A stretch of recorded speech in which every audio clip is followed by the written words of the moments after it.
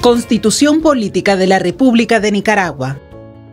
Capítulo 5. Derechos laborales. Artículo 85.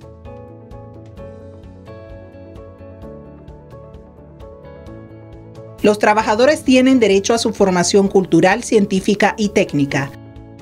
El Estado la facilitará mediante programas especiales.